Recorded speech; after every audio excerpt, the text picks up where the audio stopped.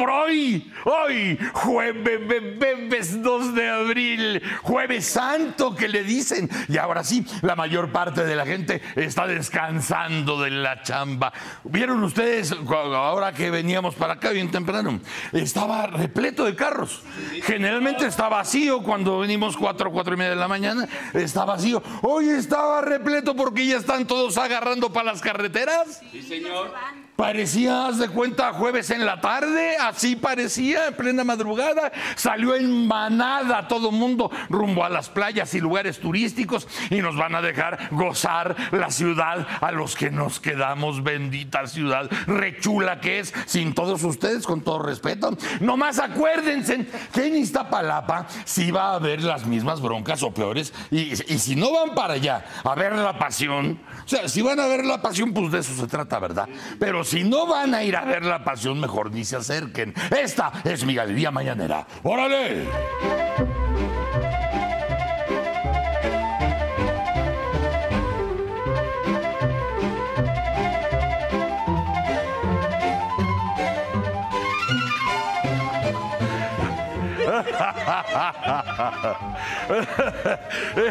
Eso sirve para una película. Aquí estamos en los cotorreos de jueves, ¿no? Porque ya ven que hay mucho, mucho creativo aquí en, en el lugar. Y acuérdense cómo dice la frase, creativos y te sacarán los ojos. Y en eso estábamos justamente, que ya Ramiro quería hacer una película que se llame La Pasión según David Cepeda.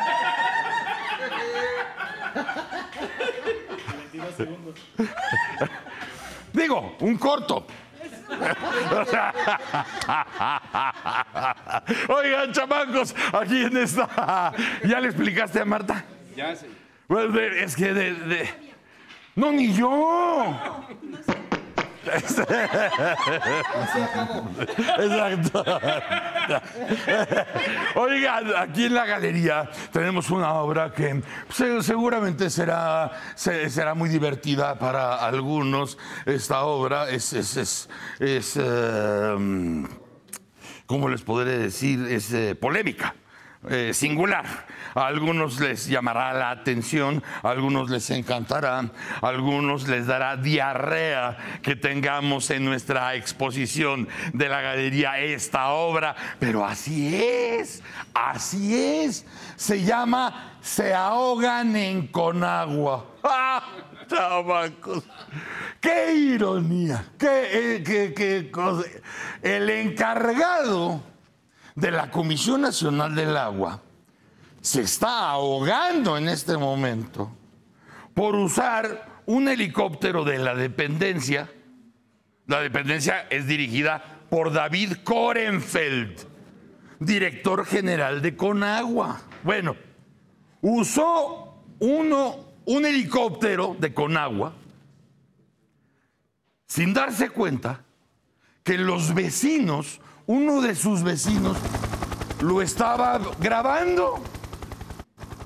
Y entonces este, uno de los vecinos se puso a grabar. Y entonces pues se ve en el video cómo va bajando pues toda la familia, ¿verdad? Con las maletas y todo para subirse al helicóptero porque ya viene la vacación y ahí van todos para arriba y el vecino grabando. Porque además ya no es como antes que decías, oye, ¿dónde dejaste la cámara? Porque hay que gra-". No, tienes el teléfono. Y se ve todo. De volada, el organismo con agua quiso aclarar que se utilizó para llevar a Korenfeld a un hospital. No, no, no precisaban muy bien. O sea, que si lo llevaban a un hospital o lo iban a llevar al aeropuerto para, porque tenían una cita en algún lugar del extranjero para ver algo de su pierna. Pero entonces tú empiezas a decir. ¿eh? Su por su rodilla o algo así. Creo que hace mes y medio corrió 12 kilómetros eh, en, un- en una carrera. Hay fotografías de eso, pero no me hagas caso, ¿no? Ahí están las fotografías. El asunto es que dices, bueno, entonces, ¿qué? Eh, Los, los niños fueron a acompañar a su papá al aeropuerto para que fuera a tratamiento y luego, ¿en qué se regresaron los niños? ¿En Uber? Ya hay metrobús al aeropuerto, señor. Eh, Sí, pero si ya te llevaste el aeropuerto, eh, el helicóptero, pues que le regrese a los niños. La, la cuestión es que eso, eso, eso quisieron decir en el comunicado de Conagua, que creo que después lo acabaron hasta borrando, ¿no? Como diciendo, ya, quita, aquí, ¿a quién se le ocurrió, no? Exactamente. Llamen a Godínez inmediatamente. ¡Lo hizo! Miguel Oscar. Pero la versión fue desmentida de volada, pues hubo quienes aseguraron que, que- que David Korenfeld andaba esquiando allá por Bale. Que según dicen, yo no sabía, esquiar es muy bueno para las articulaciones. Ahí está. Sí, porque, porque Terapia de frío, señor. eh, es tera- como terapia de frío. Es al- algo así me, me estuvieron explicando, ¿no? De, pla- de plano. Sí, ¿eh? Que le pregunten a Schumacher. Exacto. No, imagínate, e- esa fuente yo no acudiría. Por lo pronto esa fuente yo no acudiría. De plano, sin más remedio ni salida, el expresidente municipal de Whisky Lucan, que es David Korenfeld, fue presidente municipal de Whisky Lucan, en la época, para que más o menos se ubiquen en la época, eh, ¿se acuerdan cuando mataron a Enrique Salinas? Eh, ¿Tú no te acuerdas? No, señor. Los demás sí, qué bueno. En esa época, él era presidente municipal de Whisky Lucan, David Korenfeld. ¿No? Es de los, vamos, de los amigos que vienen desde el Estado de México. Bueno, pues tuvo que tuitear Korenfeld que había cometido un error inexcusable y que por ello se disculpaba. Exactamente. Ahí está. Además, con la ley Korenfeld del agua horrenda que está. Eh, esa- esa- sí, Marta, pero no te encabrones, Marta. Espérate. Ya, ya. No, ahorita ya, Marta, ya haciéndose así, ya acá. No, no, no, no, no. Y ahorita, ¿cómo estás? Si le rompes la rodilla, Marta. Otra, otra. Pero fíjense, fíjense. Detengámonos en esa palabreja usada por el señor Korenfeld para ir más allá de la, de la crítica que, que tiene encima, que ahorita tiene encima la crítica que tiene encima y que se me hace muy tenue, ¿eh? Este, espérame, espera, de 97 a 2000 fue el cuarto regidor del municipio de Huizquilucan. De 97 a 2000. ¿Cierto? Ahí voy. Estamos los datos. Del 2003 al 2006 fue presidente municipal de Huizquilucan. Exacto.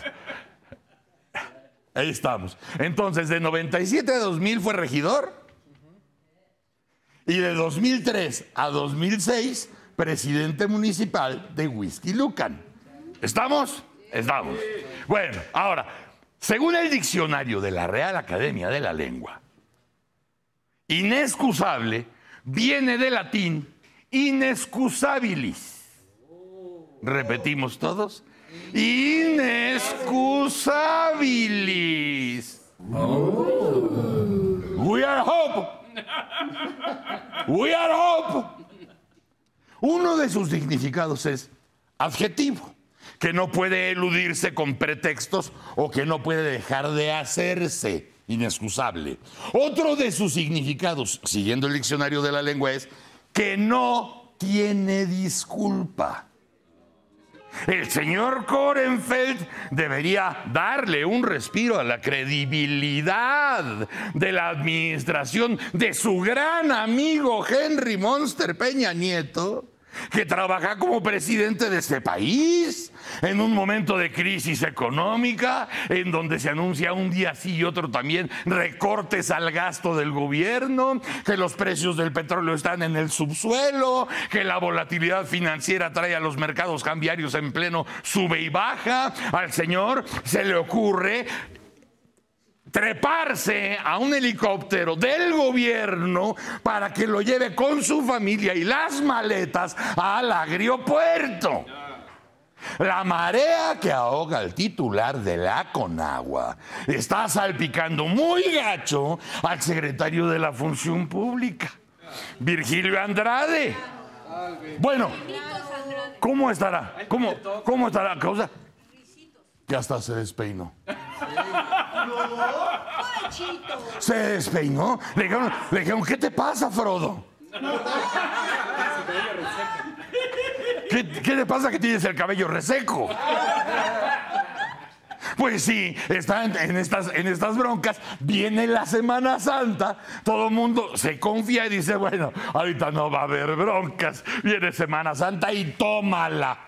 Tómala, Barbón. Porque Virgilio Andrade debió haber sido el primero en reclamarle a Korenfeld el mal proceder. Tan mal proceder que públicamente se disculpa. Sí, señor. Al inicio de esta administración, al inicio de esta administración, por, por un escándalo en un restaurante, ¿se acuerdan? Eh, quien fuera titular de la Profeco, Humberto Benítez Treviño, pagó con su cargo el berrinche de su hija, de la Lady Profeco. Y ese no costó. Pero fíjate, pero fíjate, el berrinche de la niña lo pagó el señor con el cargo al principio de la administración. Y ahí no hubo dinero porque el uso del helicóptero fue. Exacto, ahí ni siquiera hubo dinero, sino hubo la prepotencia y, nepotismo.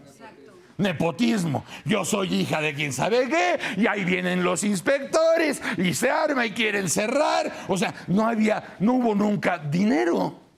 Nunca. ¿Cuánto cuesta levantar un helicóptero? Por eso, ¿cuánto cuesta levantar un helicóptero? O sea, ya eh, hablando de, de- este, de- de- de combustible, de personal, de, los permisos. Claro, todo eso cuesta. ¿Cuánto cuesta? La- ¿Eh? Señora, no me hable así. Señora, no. No, no. Por, por favor, Fernando, por favor, po- pon en calma, por favor, a Marisa Cepeda, por favor. ¿Qué? No puede. Pues.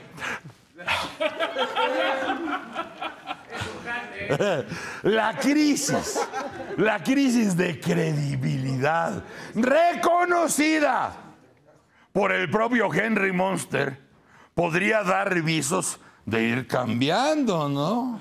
Aquí solo se ven dos caminos lógicos. Desde luego, caminos hay 17 mil. Pero dos caminos lógicos, ¿cómo están las cosas?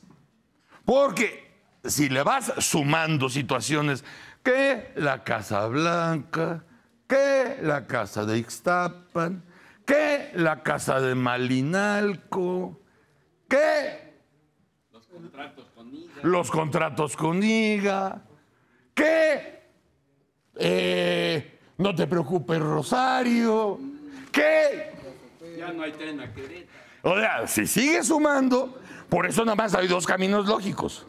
La renuncia del señor Korenfeld o el despido. O sea, el despido es que lo despiden, señora. Sí. Despido. Sí.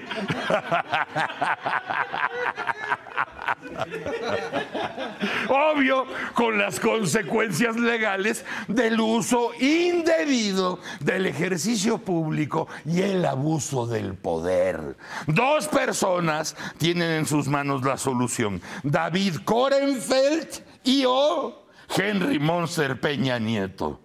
Vamos a ver quién dice yo primero o nos encontramos con la sorpresa de que la administración se trata justamente de seguir así.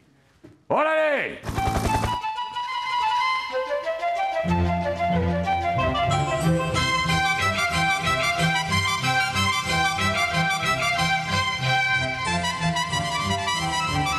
Y seguimos con la tranquilidad de la Semana Santa. Verán ustedes. No, y en Semana Santa todo va a estar muy tranquilo. ¡Mocos! Esta obra que tenemos aquí se llama Ya perdieron. ¿Por qué? ¿Por qué? Y uno, en Semana Santa se pregunta, se pregunta uno, pregunta uno al cielo. ¿Por qué? ¿Por qué? ¿Por qué? ¿Por qué la Cancillería de este país se ha empeñado en ir a peleas que de antemano tiene perdidas? Primero, no sé, no sé si sea el espíritu animoso del señor secretario o que lo manden a él a, irse a dar de golpes que ni le corresponden. Pero Primero, primero fue con el Papa Francisco, al que le hicieron una escenita que, vamos, que no le pasa ni con las viejas más celosas de, de este mundo. Una escenita, ¿no? ¿por, qué, ¿Por qué vienes así? ¿Y por qué vienes raro? ¿Y, por- y por qué te está temblando el ojo? Porque, porque, porque estoy cansado, porque, porque estoy tenso. ¿Y, y por, qué traes, por qué traes la boca roja? Por- Porque vengo comiéndome una, una- una paleta de grosella. ¿Y por qué la paleta de grosella tiene pelos? ¡No! Se me cayó. Se me acaba de caer, está en la peluquería. Normal. Bendiciones, María. Bueno, la, la- la escenita esta por la filtración de una carta personal en la que dijo el, el Papa que no le gustaría que su país natal, Argentina, se mexicanizara usando el calificativo para describir justamente la violencia que se genera por el narcotráfico en nuestro país. Mexicanizar. Ahí van con el pleito. Ahora el pleito es con el relator de la ONU para documentar la tortura. Juan Méndez, así se llama el relator, le envió una carta al representante de México ante la ONU, a Jorge, a Jorge Lomónaco, en la que le dice que las expresiones que han usado el canciller Meade y el subsecretario de Relaciones Exteriores, eh, Gómez Robledo, en su contra, son un ataque personal. Un ataque personal que jamás había enfrentado en su trabajo por los derechos humanos. En la carta, Méndez afirma que concluir que en México la tortura es una práctica generalizada provocó que el gobierno lo hubiera invitado a realizar un estudio sincero de la situación y no para que lo minimizara o lo presentara de manera conveniente para quien lo está invitando. Méndez dice que hubiera sido una falta de ética de su parte haber sucumbido a presiones que sí recibió en un primer momento para que cambiara de parecer. Del mismo modo, sería una falta de ética cambiar de parecer al redactar el informe o incluso hoy, cuando toda la evidencia que él tiene a su disposición solamente ratifica lo que evalúa. ¿Por qué entrar en esa confrontación con el relator Méndez? Esta es una bronca gratuita, porque dentro de nuestras fronteras también se percibe que la tortura es un acto común entre los que tienen que velar por la seguridad de nosotros los mexicanos en estos tiempos de violencia, violencia, violencia y más violencia. ¡Órale!